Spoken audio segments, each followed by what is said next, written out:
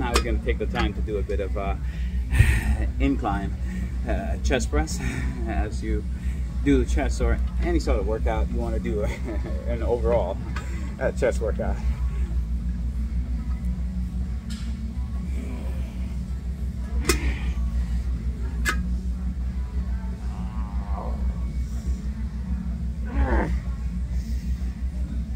It's like with anything, just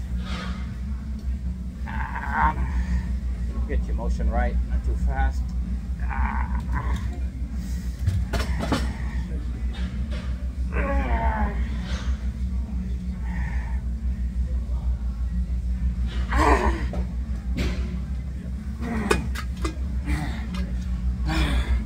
There you go.